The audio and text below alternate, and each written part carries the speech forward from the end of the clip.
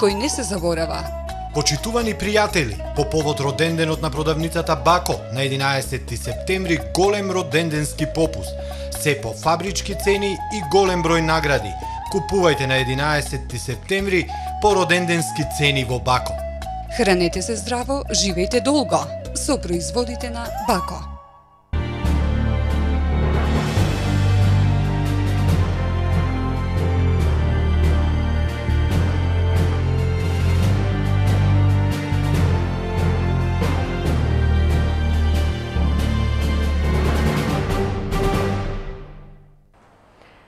Денешниот дневник на ТВМ. Ке гледате. Македонија слави 24 години независност.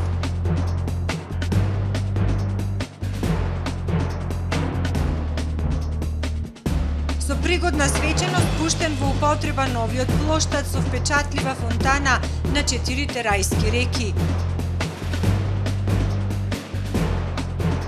Погледнете како ќе изгледа болницата Свети Еразмо по реконструкцијата.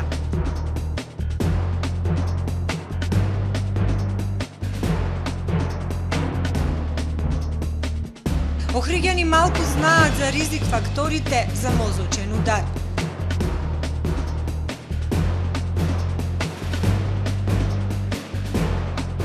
Двојна победа за кенијците на Охридскиот атлетски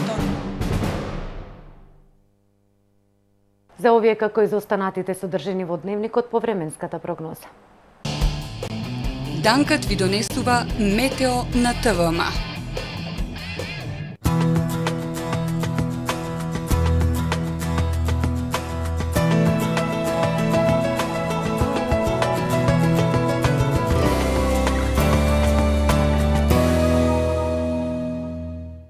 Денеска во Охрид времето претежно сончево со локална облачност во попладневните часови и максимална дневна температура од 20 степени Целзиусови. Воздушниот притисок изнесуваше 1018 хектопаскали, а дуваше слаб североисточен ветар. Поголем дел од Европа во среда ќе биде под влијание на висок воздушен притисок кој ќе услови претежно стабилно и топло време. Во североисточните предели од континентот времето ќе биде нестабилно со врнежи од дошт. Истовремено на Медитеранот се очекува силен циклон од Северна Африка кој ќе ги зафати јужните предели на Апенинскиот и Балканскиот полуостров, условувајќи обилни врнежи од дошт. На Балканскиот полуостров утре времето ќе биде умерено облачно со повремени сончеви периоди и ветровито. Во јужните предели на полуостровот се очекуваат поинтензивни врнежи од дожд. Максималните дневни температури ќе се движат од 20 степени во Љубљана до 28 степени во Подгорица. Во среда предпладне во Македонија ќе превладува умерено облачно време со повремени сончеви периоди. Попладне се очекува зголемување на облачноста и продорна влажна воздушна маса од југозапад која ќе донесе врнежи од дожд. Попладне се очекува зголемување на облачноста и продорна влажна воздушна маса од југозапад која ќе донесе врнежи од дошт и најпрво ќе ги зафати југозападните предели, а во вечерните часови ќе се прошири на запад и на северозапад од земјата. Во текот на ноќта оваа влажна воздушна маса ќе ги зафати и останатите предели од Македонија, условувајќи поинтензивни врнежи од дошт. Утренските температури од 7 до 19 степени, максималните дневни од 16 до 27 степени. Во Охрид утре предпладне времето ќе биде умерено облачно со повремени сончеви периоди. Попладне ќе настапи зголемување на облачноста која што ќе услови врнежи од дошт. Утринската температура од 11 степени, а максималната дневна до 22 степен. Во четврток во Охрид не очекува облачно време со обилни врнежи од дошт се очекува да наврнат околу 35 до 45 литри дожд, дневната температура до 15 степени. Во петок умерено облачно со услови за слаб локален дожд, а во сабота и недела претежно сончево време и потопло.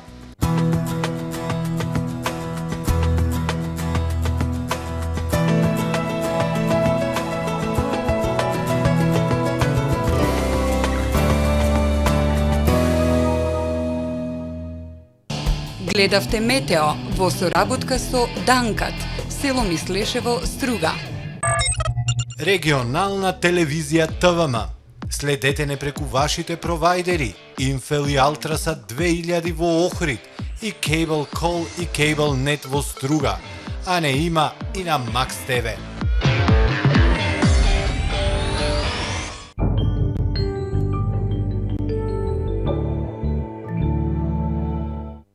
Во ПИСИ 2015-2016 година за сите ученици запишани на математика од 50 до 89% попуст за англиски. Уписите траат од 10 септември 2015 046 230 560. Хотел Тино, сместен во идиличниот пейсаж на населбата Свети Стефан, хармоничен спој на смирувачкиот амбиент на Борова шума и прекрасното синило на Охридското езеро. Опремен по највисоки стандарди, хотелот располага со спа центар, внатрешен и надворешен базен, базен за деца, детско игралиште, фитнес центар, сала за состаноци. Совршен избор за вашиот одмор и уживање за сите сетила. Ресторанот и летната тераса со капацитет од 250 гости погодни за организирање на секаков вид на прослави и забави, возбудливи кулинарски доживувања, приготвено со љубов и свежи состојки, доставено со љубезност. Хотел Тино, Свети Стефан. Ке дојдете како гостин, ке се чувствувате како дома.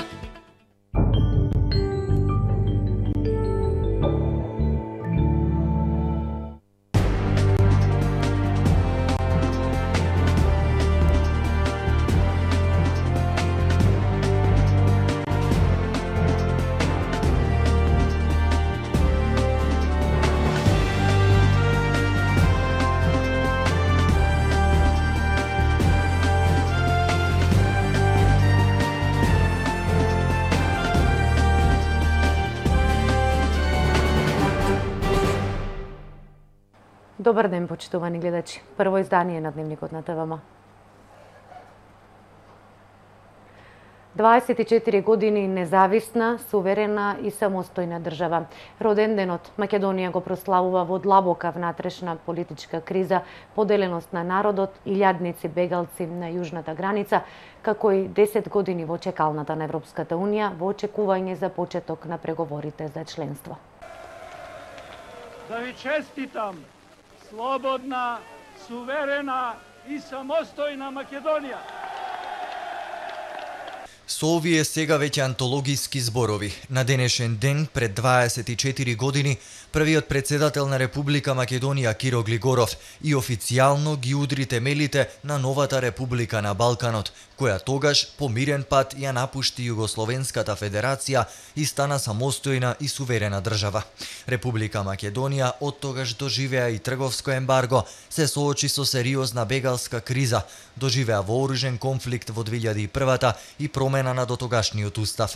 На листата на државни аспирации се уште прво место зафаќаат оние за влез во Европската Унија и во НАТО алијансата, но и по 24 години независност Македонија се уште чека пред нивните порти. Ги запрашавме граѓаните каде според нив успеа да стигне Република Македонија за сите овие години. Овие години напредуваше земјата. Напредуваме, фала Богу. Се живеат подобро, ево. Фала Богу и слободно и така натака. Па за овие 24 години ние многу напред ојдовме, мислам, она што е реално наречено. И, значи, тогашно време не беше баш така, онака како... А сега се гледа да е све по поразвиено, понапред и, и подобро. Јас мислам дека за живот, за све. Се крена на поголемо, мислам, мислам така не е подолу. Напред е одите. До сега земјава има дојдено на врв. Најдобро нешто што му се има дестино на Македонија. И се надевам уште подобро ќе дојде. Нормално со тек на години се стабилизира земјата и си оди по нормален пат, да, како самостална држава. Многу напредно време.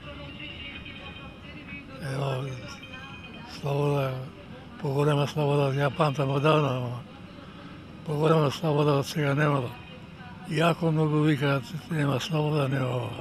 Напредна е доста. И уште треба да се прави, ама има време. И додека кај дел од граѓаните владее ваквиот впечаток, Македонија континуирано во текот на годините добива предупредување од меѓународните организации за прекршување на човековите права и слободи, за нарушување на слободата на медиумите, за партизираност на обштеството и институциите. Во меѓувреме, сите наши соседи, дел од кои и поранешни членки во Југословенската федерација, ги постигнаа или се на чекор од постигнување на целите кои Македонија прва ги зацрта пред 24 години. Денес, на својот 24 роден ден, наместо да се пишува за роден роденденски влез во Европската Унија или НАТО Алијансата, Република Македонија е исправена пред уште една голема криза. Овој пат политичка, со решение кое ниту малку не се наговестува, оставајќи ги граѓаните во неизвестност уште една година. Среќен ден на независноста. По повод 8 септември, денот на независност на Република Македонија, градоначалникот Никола Бакрачевски упати честитка до граѓаните на Охрид. Изминуваат 24 години кога сонот на многу генерации македонци стана реалност со прогласувањето на независност на нашата татковина Република Македонија. Период кој беше исполнет со многу искушенија, тешкоти и закани, но исто така и период во кој недвосмислено ја потврдивме нашата цврста определба да изградиме демократска и просперитетна Македонија. Ден кој не подсетува на предизвиците кои сме ги надминале и на вечниот стремеж за подобра Македонија. Денес Република Македонија е етаблирана како стабилна држава, со постојано надградување на демократските капацитети, а уверен сум дека граѓаните на Охрид како столб на македонската историја и култура ќе го дадат свој несебичен придонес за просперитет на иднина на сите граѓани. Да ни е среќен и вековит празникот стои во честитката на градоначалникот Бакрачески. Во чест на Денот на независноста на Република Македонија, делегација од Обштинското раководство на СДСМ од Охрид се поклони пред охридските револуционери. Делегацијата во состав Томислав Тунтев, председател на Обштинската организација на СДСМ Охрид и пратеник, Александар Кузевски, секретар на СДСМ Охрид и Славица Малеска, член на извршниот одбор, положија свежо цвеќе на спомениците на охридските револуционери во градскиот парк. Во име на СДСМ, делегацијата и на овој голем празник им оддаде почит и признание на славните охридски борци за слобода од Илинденскиот период и од периодот на народно-ослободителната борба, кои ги положија своите животи за слободна, независна и суверена Република Македонија. Во очи националниот празник 8 септември синоќа свечено беше отворен новиот плоштад во Охрид. Плоштадот на четирите рајски реки ќе биде новото каче за одмор и релаксација на охријани. Еден дел од плоштадот е уреден во вид на амфитеатар кој ќе се користи како место за културно-забавни манифестации. Новиот плоштад кој се наоѓа кај некогашниот минимаркет синоќа беше свечено отворен пред многобројните граѓани, представници на локалната самоуправа, советници и пратеници. Овој простор од 1000 метри квадратни кој е партерно и хортикултурно уреден и оплеменет со две фонтани целосно осветлен, ќе биде ново катче каде граѓаните ќе се одмараат и релаксираат. Градоначалникот Никола Бакрачевски во своето обраќање пред присутните рече дека ќе остави граѓаните да му го дадат името на новиот плоштад. Овој простор за повозрастните охријани беше познат како Дуборезачка. За помладите генерации едноставно кај мини маркет. А остава на вас, сите граѓани на Охрид, на денешната генерација и на инвентивноста на граѓаните, овој плуштат да го именуваат според нивно наоѓање. 8,6 милиони денари чинеше изградбата на плоштадот, а градежните работи ги изведува обштинските јавни предпријатија, додека двете фонтани ги градеше охридската фирма Евростил. Централно место на плоштадот зазема фонтаната која е украсена со мозаик изработен од уметникот Никола Упевче. Мозаикот представува реконструкција на антропоморфните представи за четирите рајски реки представени во ранохристијанската базилика на Плаошник, која датира од 5 6 век. Мозаикот е работен според зачуваните оригинални портрети, а вметната и четвртиот реката Тигар кој недостасува, така што сликата сега е целосна. Ова е единствен ваков портрет во државата. Еден дел од плоштадот е уреден во вид на амфитеатар, кој ќе се користи како место за културно-забавни манифестации. Просторот кај малиот амфитеатар ќе биде можност сите културни институции, дејци и уметници да организираат најразлични културни манифестации и уметнички да се изразуваат.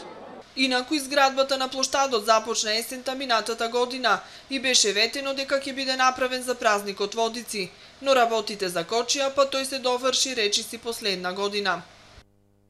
Кениците во машка и женска конкуренција најуспешни на Охридскиот атлетски маратон. Кениката Ребека Джоб Ширшир Корир го струши до сегашниот рекорд во женска конкуренција. Меѓу жените на третата позиција се пласира Благица Јованова од Македонија.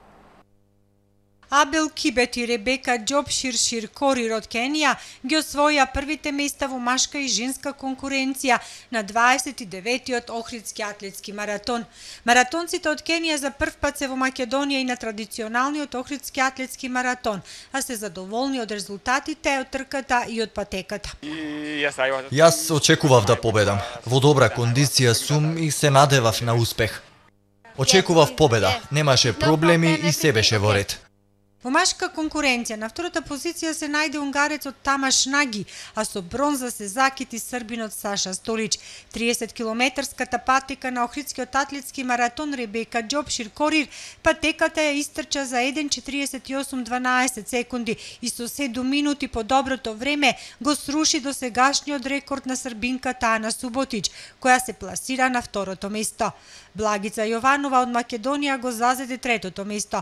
Таа само пред два дена трчала на маратон во Котор, а прв пат е на Охридскиот маратон. Уживав во целата трка, посебно од 25 километар, поглед беше прекрасен, немав никакви проблеми, мислам убаво темпо, фатив добар ритам, прекрасно беше, мислам. Охридскиот маратонец Славко Симоновски е учесник на маратонската патека од Светинаум до Охрид по 17 пат. Задоволен е од тоа што успел да го постигне рекордот на патеката со најмногу истрчани маратони. Заедно со стружанецот Славко Костовски се носители на овој рекорд, посочува Симоновски. Патеката е многу тешка па-, патека и предизвик за нас маратонците да се само надминиме, затоа што маратонот е едно само надминување во во една тешка конкуренција. Ова година збогатена со уште повеќе интернационалци. Смогнавме сили да се онегиме да се надправураме, да се такмичиме и да се самодаминиме и заедно да стигнеме одека на целта. Секој нешто е што ја премина целта, тој е победник на овој маратон. Рекордот во женска конкуренција се собори и тоа за повеќе од 7 минути, што стварно е, мислам, одлично време и така. 1 час и 48 минути за, за жена да го источат, мислам, е стварно добар под, подвиг дека. Председателот на организациониот одбор Пецо Неданов е задоволен од одржувањето на Охридскиот атлетски маратон. Напоменува дека иако имале околу 80 на пријавени учесници, сепак денес патеката ја трчале 65 маратонци. Во организацијска смисла е задоволен како протече маратонот, а и од постигнатите резултати на кениците кои беа најавени како фаворити на трката. За прв пат на Охридскиот атлетски маратон беа присутни првите луѓе од Европската и Балканската атлетска федерација. Норвежанецот Свеин Арне Хансен, председател на Европската атлетска асоциација, им ги врачи медалите на најдобрите маратонци на 29-тиот Охридски атлетски маратон. Тендерот за градежните работи за реконструкција на специјалната болница за ортопедија и травматологија Свети Еразмо во октомври треба да започнат градежните работи и се очекува реконструкцијата да биде комплетно завршена до април 2017 година. На веб страницата на Министерството за здравство денеска е објавено видео на кое што можат да се видат детали за изгледот на специјалната болница по најавената реконструкција. Во средина на месец октомври ќе започнат градежните работи за реконструкција на специјалната болница за ортопедија и травматологија Свети Размо во Охрид. Тендерот за градежните работи на оваа здравствена установа е веќе објавен, а според најавите од Министерството за здравство се очекува реконструкцијата да биде комплетно завршена во рок од 18 месеци, односно до април 2017 година. Станува збор за вкупна инвестиција вредна 215 милиони денари. Проектот опфаќа реновирање и адаптација на постојниот објект на специјалната болница за ортопедија и травматологија Свети Размо, вклучувајќи ги и потребите на Заводот за кардиоваскуларни заболувања во Охрид. Целта е со оваа реконструкција да овозможиве сериозно унапредување на стандардите и условите за работа, како и зголемување на капацитетите за диагноза и третман на пациентите, информираат од Министерството за здравство.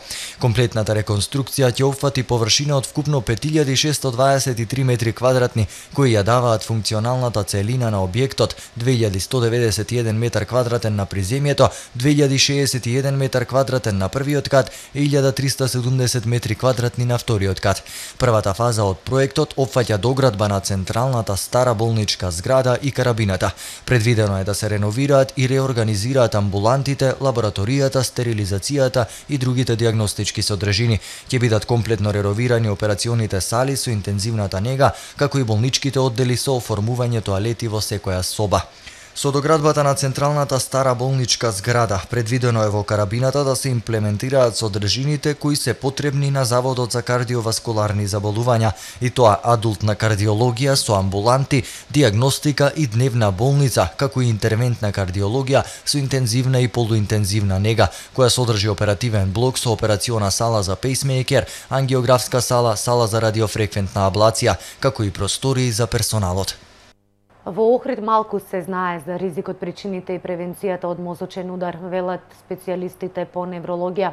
Денес пред Центарот за култура Григор Прличев се одржа акцијата за бесплатни здравствени прегледи и совети за превенција од мозочен удар во организација на Црвениот крст од Охрид, а во соработка со Сдруженијето за борба против мозочен удар.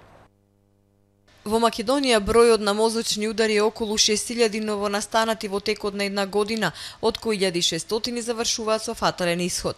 Симптомите на мозочниот удар мора секој да ги знае, бидејќи само со навремена реакција може да се спаси живот или да се намали инвалидноста.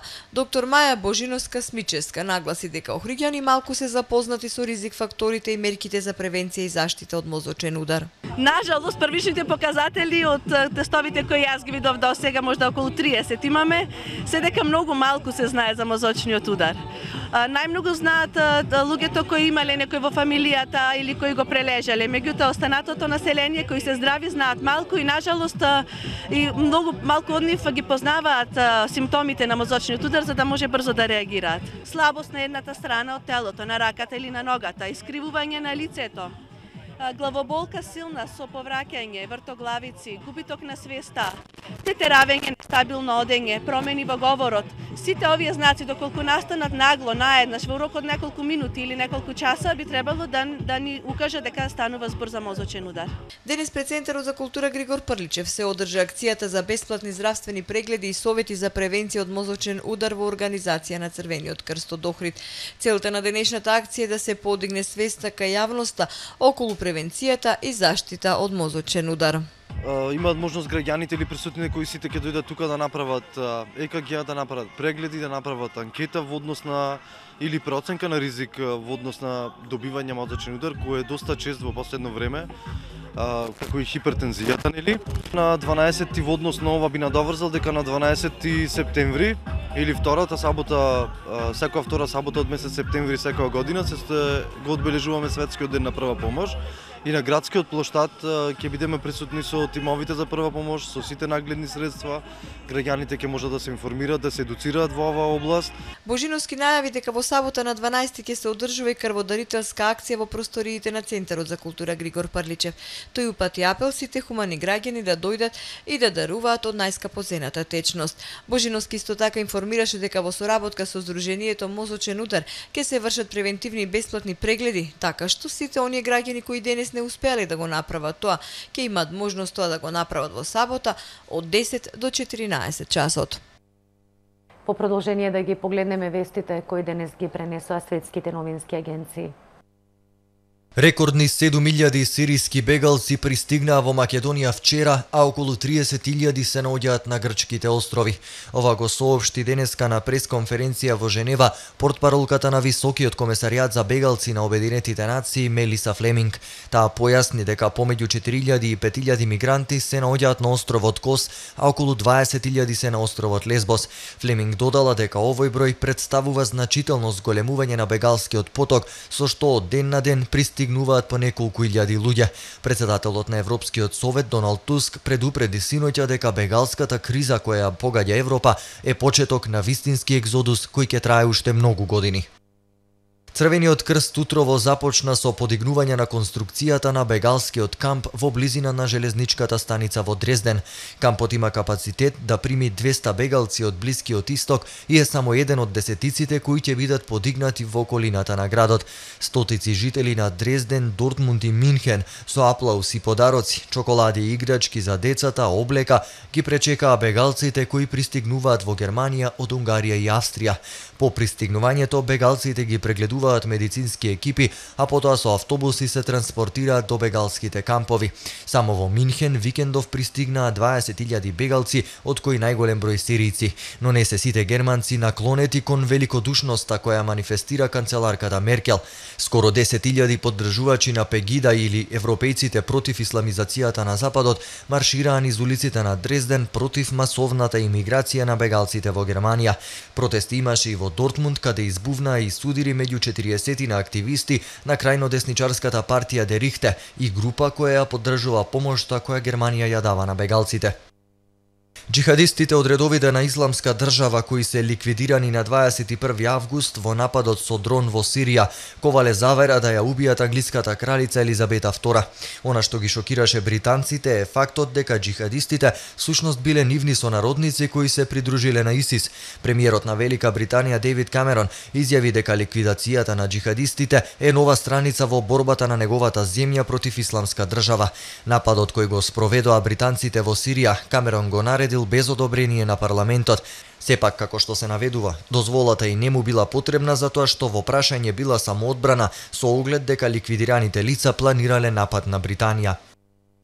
Десет полицајци биле убиени во бомбашки напад на истокот на Турција, каде што се интензивираат судирите меѓу турските безбедносни сили и припадници на забранетата Курска работничка партија. Локалните медиуми јавуваат дека цел на денешниот напад бил минибус кој превезувал полицајци на границата со Азербејџан. Предходно турската новинска агенција Анадолија јави дека 50 авиони во текот на ноќта извршиле напади врз курдските позиции во северен Ирак. Институтот на арапскиот свет во Париз ги постави гранитните скулптури од својата изложба Озирис, тајната на потонатиот Египет која ќе се отвори вечерва. Три огромни египетски статуи кои на дното на Средоземното море лежеле повеќе од еден милениум се изложени денес во Институтот на арапскиот свет во Париз. Поставката содржи околу 300 артефакти, од кои повеќето биле пронајдени за време на подводните истражувања предводени од францускиот археолог Френк Годио. Годио лично го надгледувал поставувањето на статуи статуите на египетските богови Озирис и Изида. Овие статуи се речиси 6 метри високи и тешки 4 до 5 тони. Статуите се позајмени од Поморскиот музеј во Александрија. Годио и неговиот тим во 1997 година откриле урнатини на античкиот град Канопус, а три години подоцна и урнатините на митскиот Хераклион. Двата града биле поплавени во 8 век во серија од катаклизмични природни катастрофи и се наоѓаат на дното на денешниот залив Абакур.